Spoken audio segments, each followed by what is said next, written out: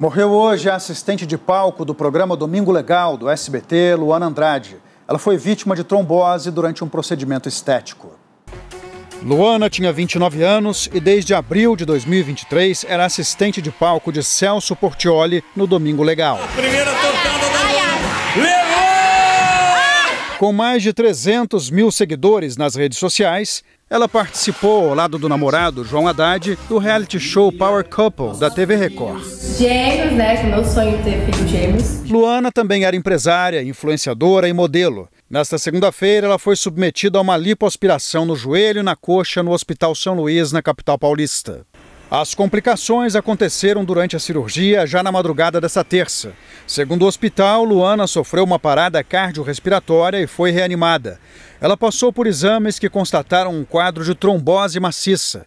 Foi então transferida para a UTI, mas não resistiu. Ainda de acordo com o hospital, a causa da morte foi embolia pulmonar maciça. O São Luís diz ainda que o cirurgião e a anestesista foram contratados pela família da paciente.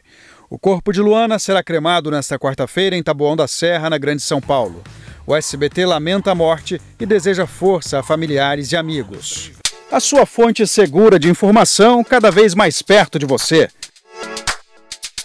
Baixe agora o aplicativo do SBT News. Selecione o que é mais importante e receba notícias personalizadas.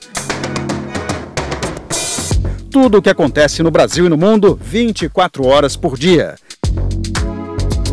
A informação em tempo real na palma da sua mão.